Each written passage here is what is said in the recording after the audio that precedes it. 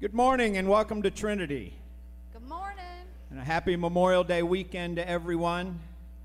A time of year when we remember those who gave so much and many their lives that we may live ours as we do. So let's please stand, greet each other with a wonderful handshake and a God bless. And if you know someone's in the service, maybe a salute.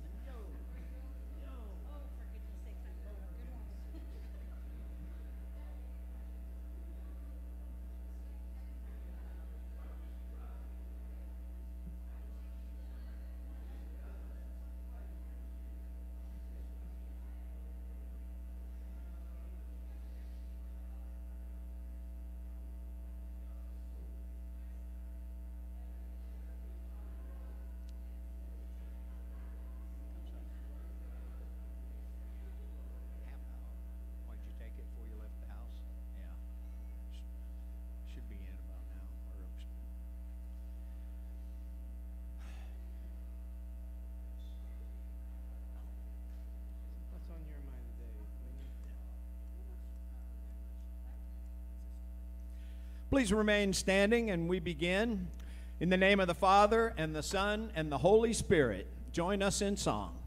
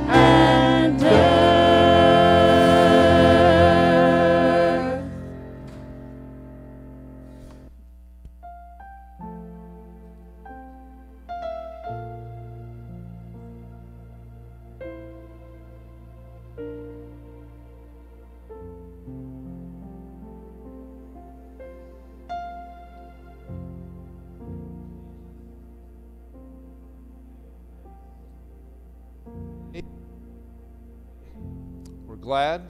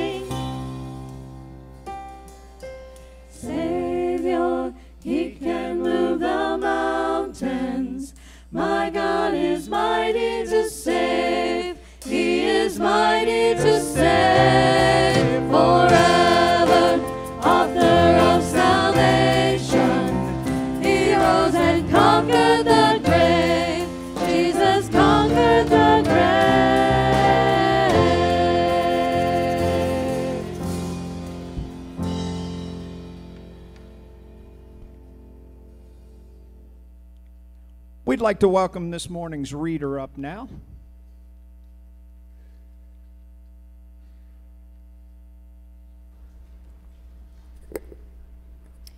The first reading for the ascension of our Lord is from Acts chapter 1.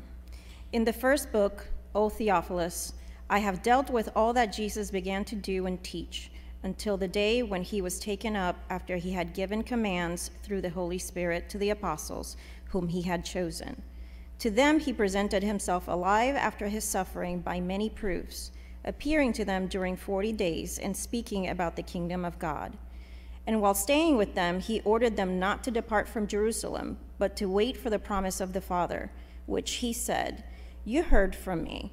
For John baptized with water, but you will be baptized with the Holy Spirit not many days from now. So when they had come together, they asked him, Lord, will you at this time restore the kingdom of Israel? He said to them, It is not for you to know times or seasons that the Father has fixed by his own authority. But you will receive power when the Holy Spirit has come upon you, and you will be my witnesses in Jerusalem and in all Judea and Samaria and to the end of the earth. And when he had said these things, as they were looking on, he was lifted up, and a cloud took him out of their sight. And while they were gazing into heaven as he went, behold, two men stood by them in white robes, and said, Men of Galilee, why do you stand looking into heaven? This Jesus, who was taken up from you into heaven, will come in the same way as you saw him go into heaven. This is the word of the Lord. The epistle is from Ephesians chapter 1. For this reason, because I have heard of your faith in the Lord Jesus and your love toward all the saints, I do not cease to give thanks for you, remembering you in my prayers, that the God of our Lord Jesus Christ, the Father of glory, may give you a spirit of wisdom and of revelation in the knowledge of him, having the eyes of your hearts enlightened, that you may know what is the hope to which he has called you what are the riches of his glorious inheritance in the saints? And what is the immeasurable greatness of his power toward us who believe, according to the working of his great might that he worked in Christ when he raised him from the dead and seated him at his right hand in the heavenly places, far above all rule and authority and power and dominion, and above every name that is named, not only in his in this age, but also in the one to come. And he put all things under his feet and gave him as head over all things to the church, which is his body, the fullness of him who fills all in all. This is the word of the Lord. Thanks be to God.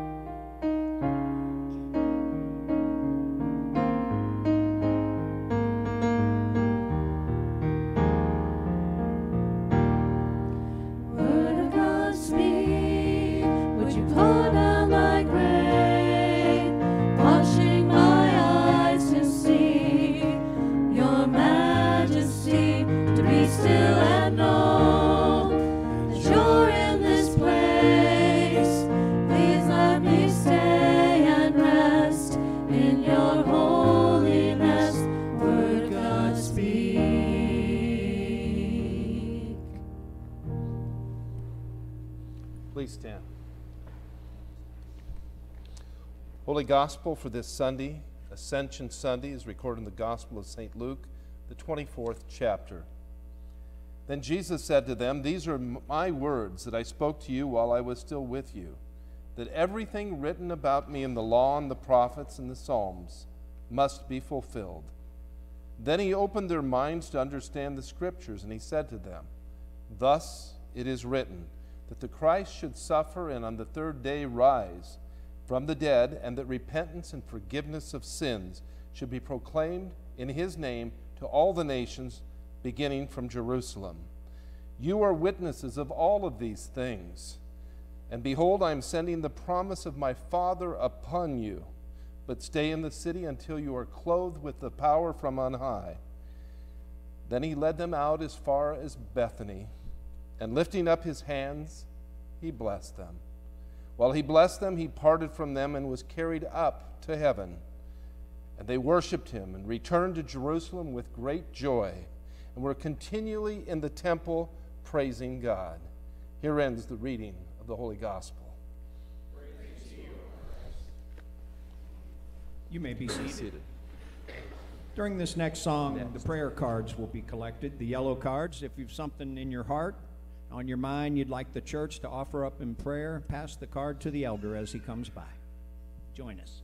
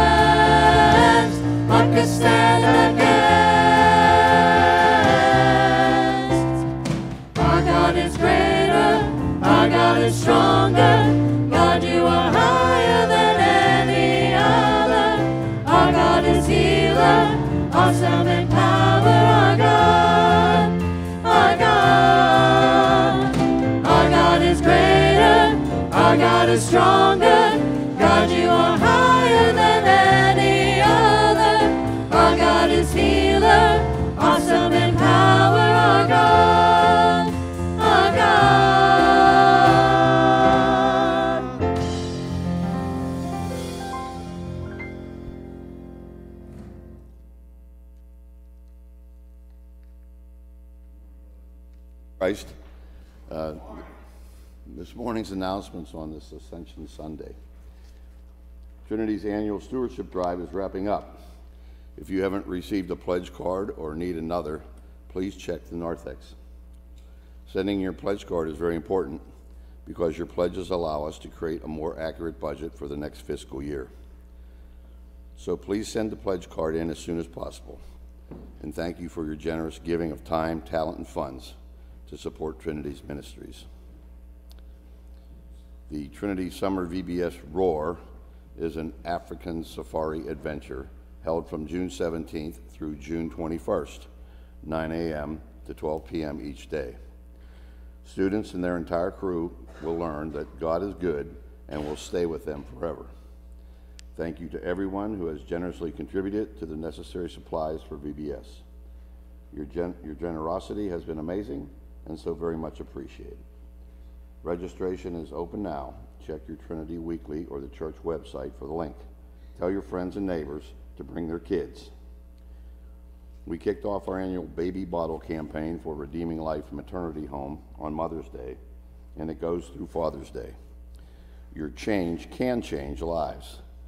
If you haven't already, please pick up a bottle on your way out, keep it in your car, office, or home. Fill it with all the extra coins and bills from now until Father's Day, or even drop a check in there to support the very meaningful work that Redeeming Life does with mothers and babies choosing life and, and faith first.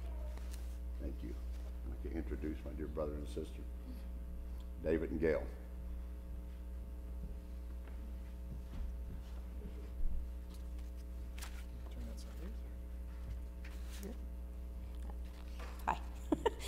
When we were asked to speak before you on stewardship, I did a little research on a website called Tithely to help prepare. I then thought about what I was taught about giving by the Bible, my parents, and the church. These are the main foundations that I would like to share with you. The foundation of stewardship is built upon the reality that God is the creator of everything. Not only did God create everything, God owns everything. Your life is on loan from God. He has given you your life to steward for His glory and your good. Psalm 24:1 tells us that the earth is the Lord's and the fullness thereof, the world and those who dwell therein. God calls us to manage what He created on His behalf. In Hebrews 13:5, God commands us not to love money and to be content with what we have. But he also commands us to work and take care of ourselves and our family financially. In doing so, you will fight with balancing to provide for yourself and your family while facing the temptation to want what others have and love money itself. God also leads us to save money for the future. Now, when it comes to saving, there is also a temptation to sin. In Matthew 6, 19 through 21, we are advised not to place your trust and hope in the money you save instead of the Lord. What is more, you may be tempted not to give to your church or others because you love your savings too much. Regardless of your beliefs about tithing, one thing you cannot avoid is that God commands you to give generously. Jesus is the most generous person who ever lived. He left the comforts of heaven, took on human flesh, and gave his life on the cross so that we might live in him. In response to Jesus' generosity, we are called to be generous. We are called to be generous with our money. We are called to steward our possessions. We are called to volunteer our time. No one argues over whether Christians should be generous. It's the hallmark of the Christian faith. There will be times in your life when you may not be able to give as much as you like, but aim to steward your resources in such a way that you may be able to give more. Seek the Lord and counsel on how you can best approach your situation. Tag team. 2 Corinthians uh, chapter 9 verses 6 through 7 tells us this. The point is this, whoever sows sparingly will also reap sparingly. Whoever sows bountifully will reap bountifully. Each one must give as he or her has decided in his heart, not reluctantly, not under compulsion. For God loves a cheerful giver. As a steward of the resources of God, that what He gives you, you will need to manage them in such a way that you can provide for the needs of others. Providing for others uh, can include monetary gifts, food, clothing, or just being hospitable with what you have.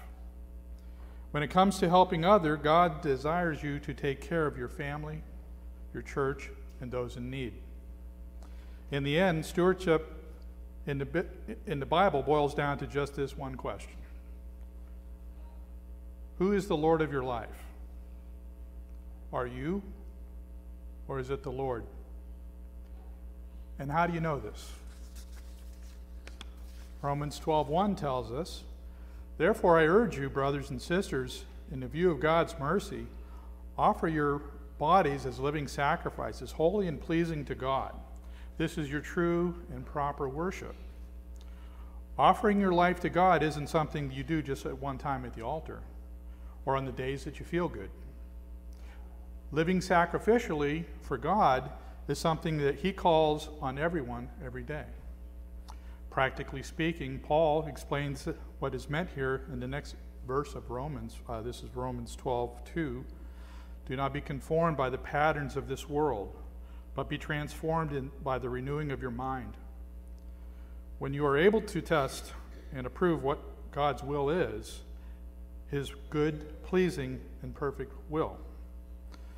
When it comes to offering yourself to the Lord, you are called to renew your mind. Practically speaking, when you renew your mind by studying the Bible, meditating on Scripture, and hearing the Bible preached.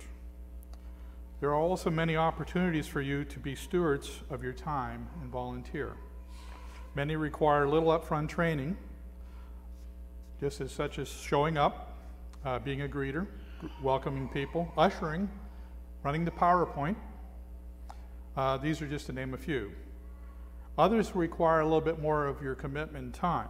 And as you season into a, a trained church worker, a volunteer for Christ, those commitments come and you can be taught those things. These are opportunities that allow you to get to know your fellow members as well and form friendships that last a lifetime. When you place your faith in Christ, you will in time transform into a generous giver. We ask you here, as a treasurer of the church, also working with the stewardship committee, if you haven't filled one out, we, we would really appreciate your commitment to allow us to plan better. And you've heard that from brother over here. And uh, we just thank you for that commitment. Before you guys leave, Um, just a question, uh, just off the cuff, from the heart. I would like to hear from either of you or both of you. What are the fruits in your personal life of being a steward of God's mercies and grace? What are the benefits? You don't have to worry about big vacations. Taken care of. You got a big vacation coming at the end of this, so. Okay. Um, really, it's, it's, uh, stewardship is a, is a return. It's sort of like taking a test when you're in college. You know, you listen to the, the, the prof teach all this stuff, and you know, I look at the test in a different light. It's your opportunity to shine. And that's, that's a stewardship to me. Okay. Yeah? I liked it. She wrote it, I just read it. Uh, no, I meant, you didn't see it, but you were, she said, I want to talk. Um, rare, but um, I would. I just wanted to say that I really don't miss the money I give. I don't think about it as being mine. It's always the first thing that comes out. I was taught from little up that that's what you do. It, you don't miss it if you don't think about it being yours in the first place. And I get more out of it being a member and being a part of this body of Christ my entire life. What I wrote about having lifelong friends, I see several of you out there that I have grown up with, that I have served in different capacities with, through Altar Guild, through greeting, through just hugging each other, through the peace. It is a bond, and God creates it in your heart, and you can't know how many times this family has been here for each other through different difficult times. My family, my family's been here for other families, and just that rewarding experience that comes from it. Yeah, we come a long ways to get here, but it's worth it every time that we're here. And it is a family, and you plug into it, and you will be energized, and you will be become a stronger part of that. That's it. And I would just like to say it is really about time, talents, and treasures. And I think you, too, as a couple and as individuals, model that uh, in your giving spirit and generosity. Thank you. And can we thank them? Thank him, yeah.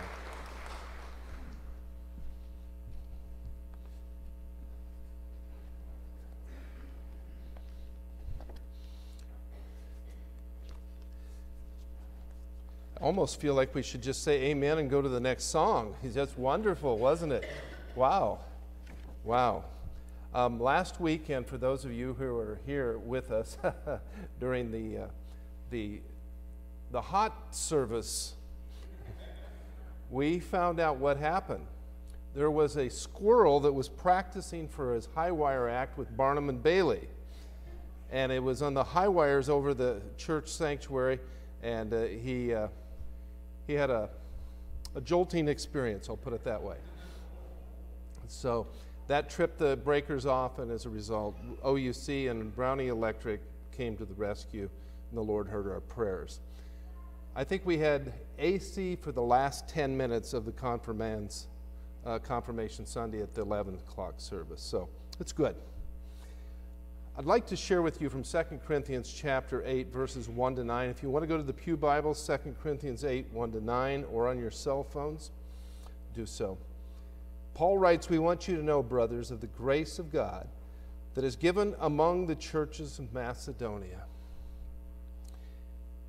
Out of the severe test of affliction, their abundance of joy and their extreme poverty have overflowed in a wealth of generosity on their part.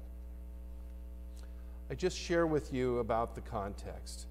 The mother church, Jerusalem, was suffering greatly. In fact, there was a, a collection being taken up for the mother church of Christianity because of the persecution, the, the uh, people being sent out, being, because of the persecutions and whatnot to surrounding areas. But the Christian church had spread and grown, and so the churches around Jerusalem were gathering up this offering. Macedonian churches were the poorest of them, and the poorest of them also, out of the generosity of the wealth of all that they, God had done for them, they gave thanks and responded, and their mercy and their grace overflowed in a wealth of generosity. Why would they do that? Giving beyond their means. Why? I'd like to have you think in your own mind, if you will, of what it means to be in God's family, of what God has done personally for you in your life. And I'd like to have you have a picture of that before I go on. I'll give you a moment. Do you have a picture of that? A prayer that was answered? A job that was given, a healing, your salvation, the promise of life everlasting. What is it? There's a story of a group of Christians that were gathered to worship and praise God on an Easter Sunday. When Pastor Paul Cernera, director of Bibles in the Middle East, tells of the story of how he and other Christians were rescued from the clutches of death by a group from three lions. Cernera and his group were under attack from Muslim militants. When the giant cats attacked and scared the murderous group away, my risen Lord Jesus Christ, he says, has saved my life once again. And I praise and thank God for his unspeakable grace. It was Easter Sunday when this miracle took place. The pastor was recovering in the home of some friends in their home where an armed group came and had stoned them earlier in that day. Suddenly, this same group of militants returned, and when they'd reached the house armed with steel bars and other weapons, they had come back to kill the pastor and those who were with him. Pastor Cernera thought it was the end of the road. This was his final day. He feared for the life of the 80 year old man who owned the home and of the several children who were there with him, taking refuge. Losing all hope, we thought this was for sure our last day. They had only one more thing to do, and that was the militants would break down that door that separated them from those who would harm them and kill them. The Christians decided to pray, and pray they did. Sanira writes Then something truly biblical took place. Completely unexpectedly, a lion ran out of the forest and leapt towards the militants. It grabbed and seized one of them by the throat and neck. And when the other uh, combatants tried to attack that lion, two other lions bounded toward them. The terrified militants now fled from the site for their own life, and the lions left the Christians completely alone. What is quite remarkable records show that lions do not live in this part, in this forest of this country. Hmm. As you think about the hand of God intervening into those who would have otherwise harmed these Christians.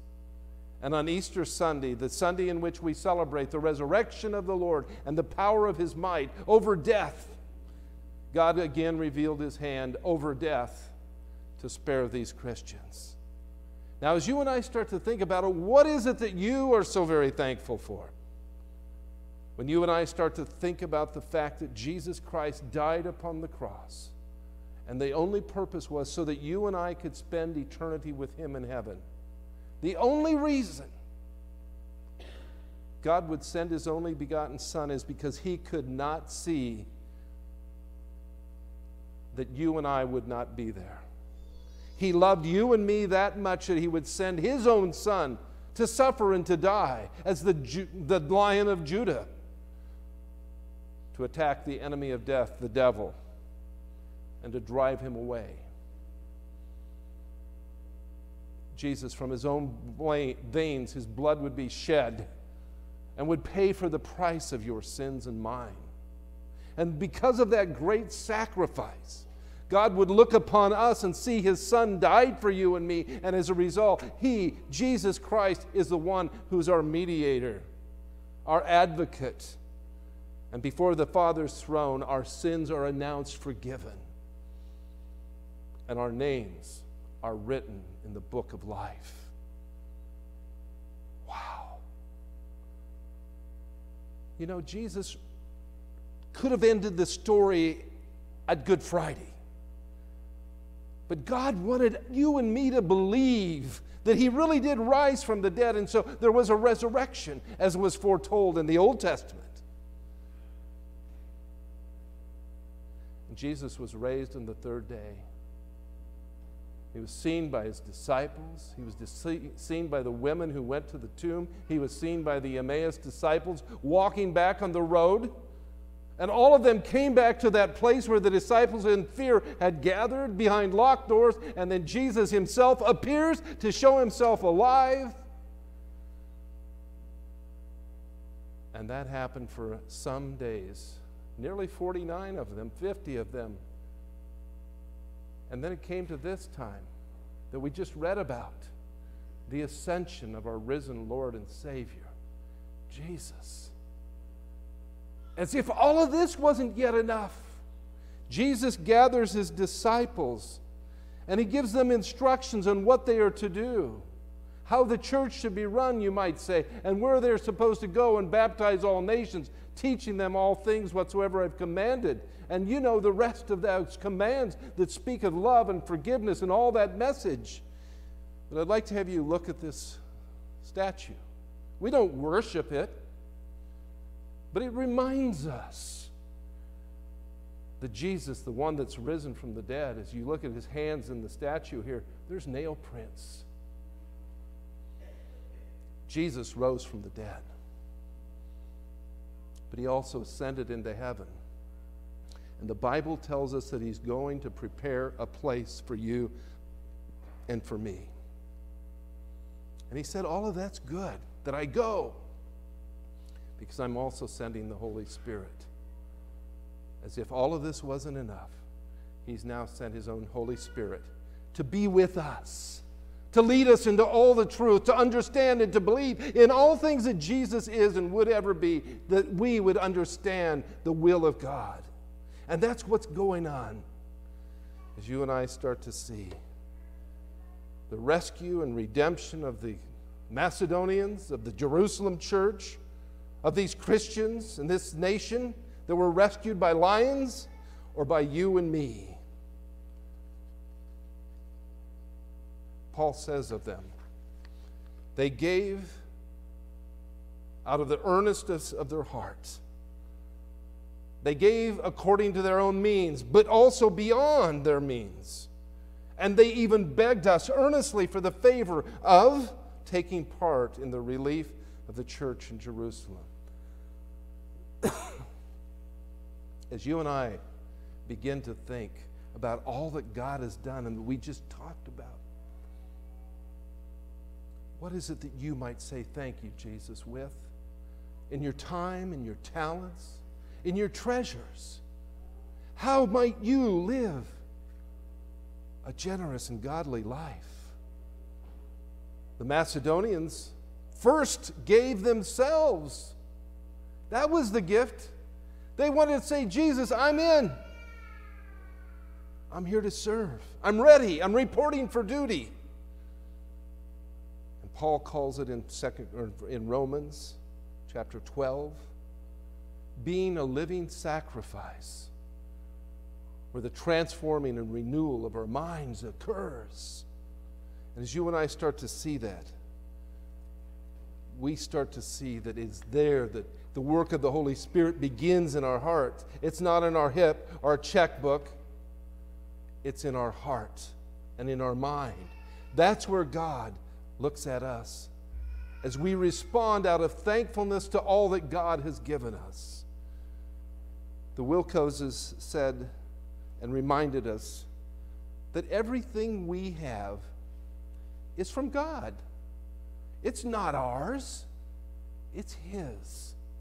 And all we're doing out of thankfulness from all He's poured out upon our laps, shaken together, as Luke talks about, poured together all that He's given us, we just respond by saying, Thank you. Thank you with this, Lord, because I just want to say, Thank you. They first gave themselves, and they excelled in the giving beyond what Paul had predicted. And then Paul says, I say this not as a command that you give, but to rather prove your earnestness of others, that your love also would be genuine.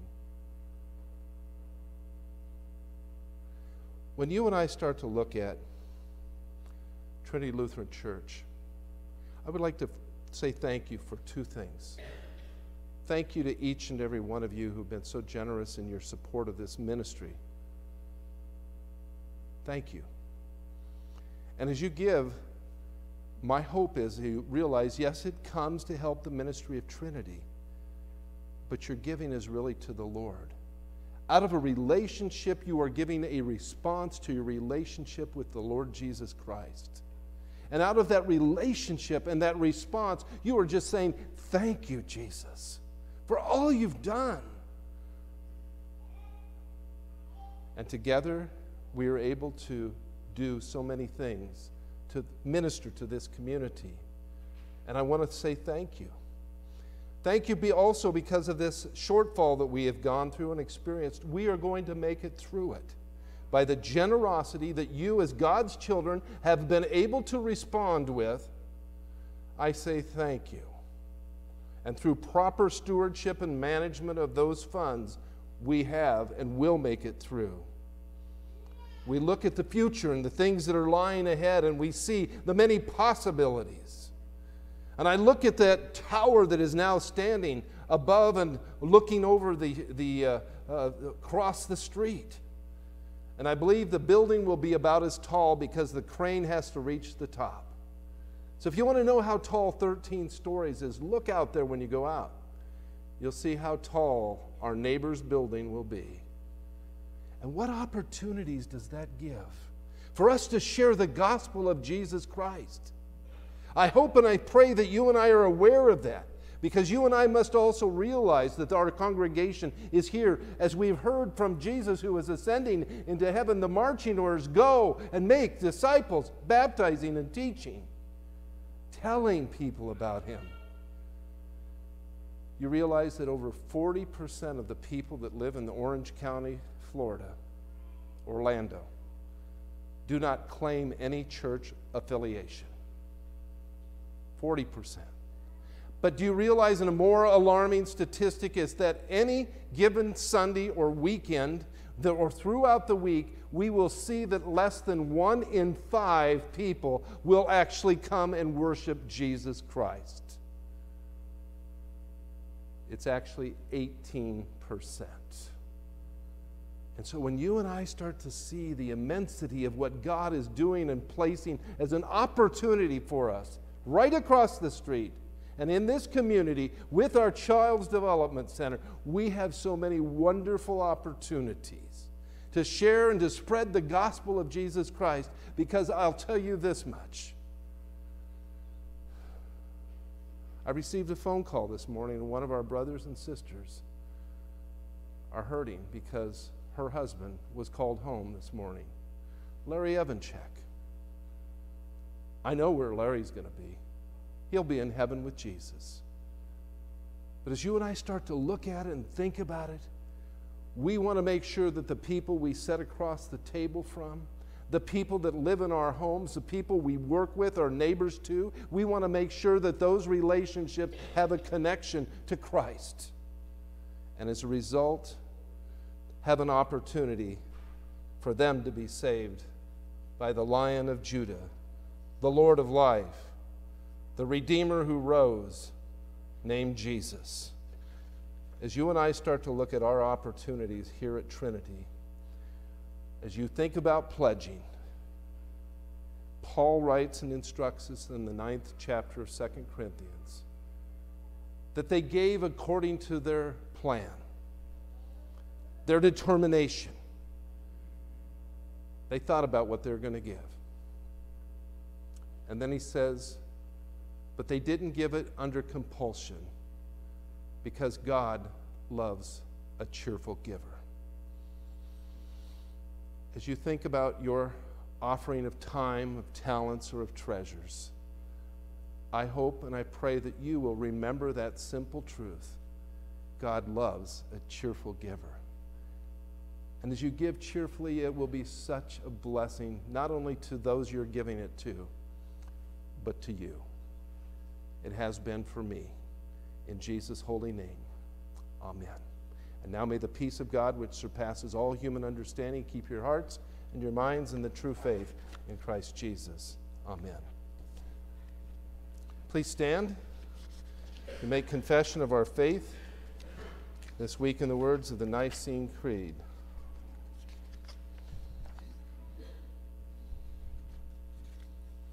I believe in one God, the Father Almighty, maker of heaven and earth, and of all things visible and invisible, and in one Lord Jesus Christ, the only begotten Son of God, begotten of his Father before all worlds, God of God, light of light, very God of very God, begotten, not made, being of one substance with the Father, by whom all things were made, who for us men and for our salvation came down from heaven and was incarnate by the Holy Spirit of the Virgin Mary, and was made man, and was crucified also for us under Pontius Pilate. He suffered and was buried, and the third day he rose again, according to the Scriptures, and ascended into heaven, and sits at the right hand of the Father. And he will come again with glory to judge both the living and the dead, whose kingdom will have no end. And I believe in the Holy Spirit, the Lord and giver of life who proceeds from the Father and the Son, who with the Father and the Son together is worshiped and glorified, who spoke by the prophets. And I believe in one holy Christian and apostolic church. I acknowledge one baptism for the remission of sins, and I look for the resurrection of the dead and the life of the world to come. Amen. You may be seated.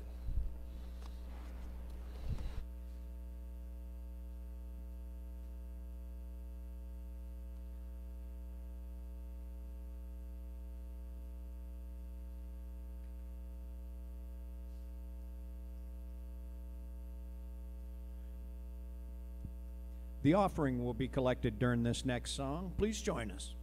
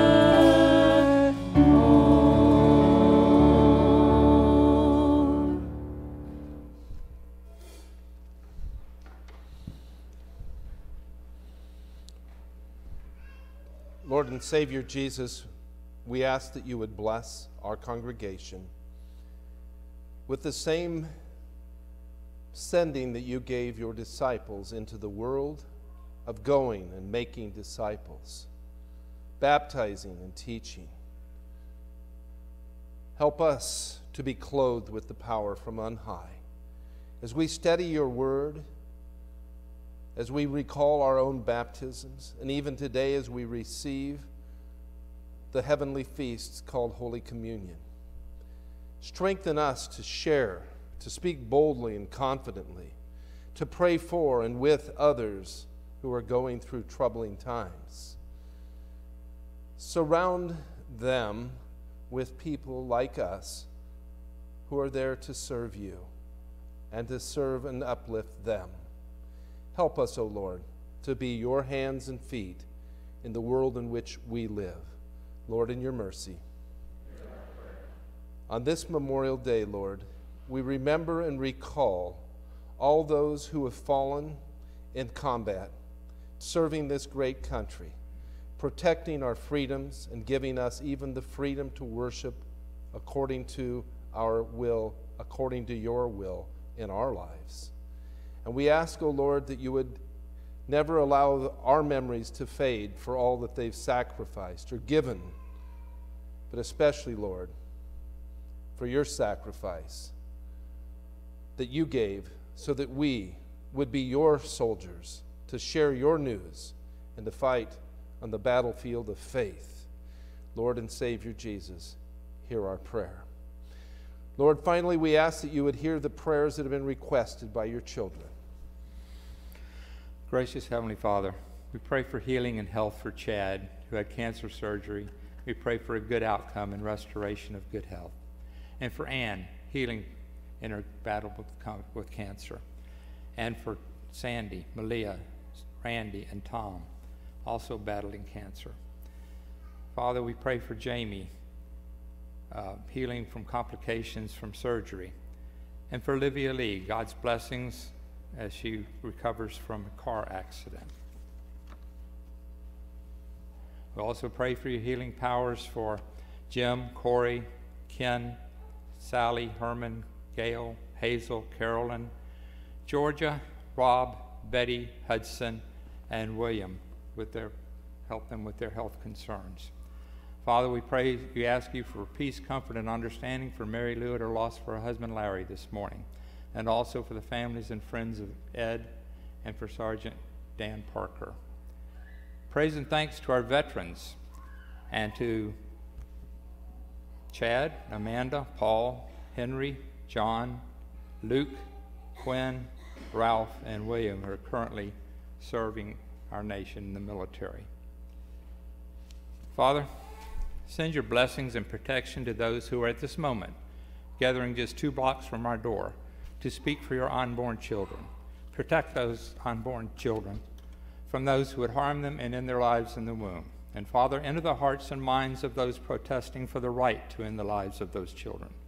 Remind them, Lord, that only you have the decision over life and death. Guide those contemplating an abortion to places such as, such as Redeeming Life Ministries, where they can receive the help they and their unborn child need. Father, praise and thanksgiving for the safe delivery of eight week old premature Charlotte, continued growth and progress, and healing for her mother Megan after the C section. Lord, in your mercy, hear our prayer.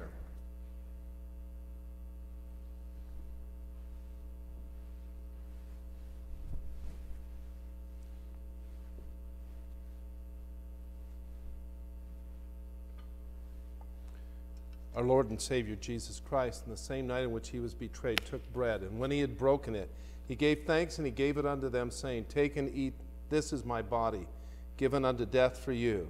Do this in remembrance of me. Likewise, in the same manner, he took the cup, and when he had supped and had given thanks, he gave it unto his disciples, saying, Take and drink ye all of it, for this cup is the New Testament in my blood, which is given and is shed for you for the remission of all your sins. As often as you drink it, do this in remembrance of me. The peace of the Lord be with you always. Also with you. you. you may be seated.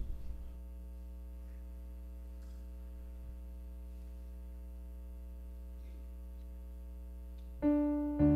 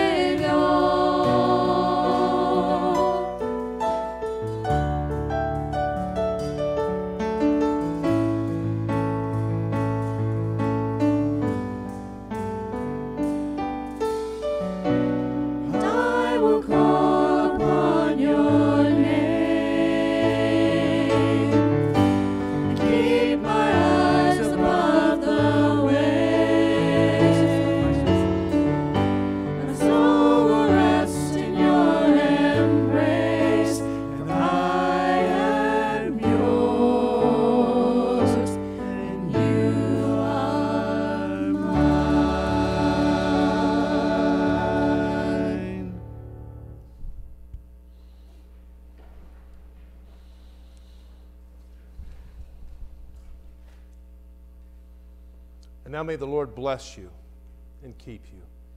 May the Lord make his face to shine upon you and be gracious unto you. May the Lord lift up his countenance upon you and bring you his peace. Amen. To everyone, please have a very blessed and safe Memorial Day. Join us in song as we sing our way out.